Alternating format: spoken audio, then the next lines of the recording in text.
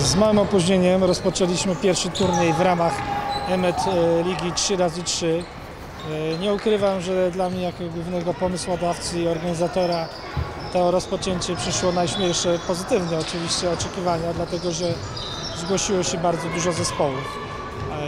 E, Chcieliśmy, żeby to, bo po raz pierwszy w Szczecinku rozgrywamy tego typu rozgrywki ligowe 3 na 3 Chcieliśmy, żeby to miało charakter regionalny taki tutaj, a okazało się, że są zespoły aż z czterech województw.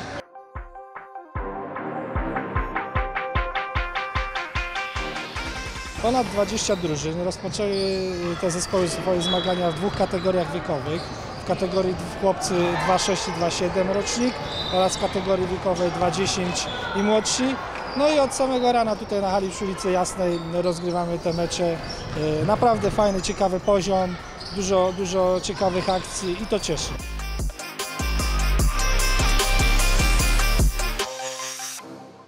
Więc planujemy rozegrać to w czterech turniejach. Pierwsze dwa turnieje, pierwsza runda systemem każdy z każdym, następne turnieje trzeci, czwarty, e, runda rewanżowa i tak już będzie pełna tabela i poznamy zwycięzców tej ligi.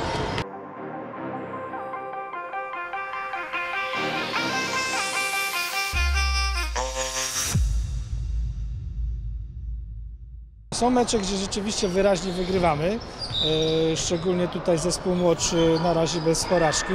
Są zespoły bardzo silne z Bydgoszczy, które no, dają nam lekcje koszykówki, ale to właśnie o to chodzi. Tutaj przede wszystkim e, te silne zespoły, faworyci mają nauczyć tych podstaw takich lepszych e, koszykówki naszych zawodników, jak i również e, przede wszystkim liczy się duch walki i tego ducha nam nie brakuje, bo rzeczywiście w każdym meczu chłopcy dają od siebie 100% możliwości.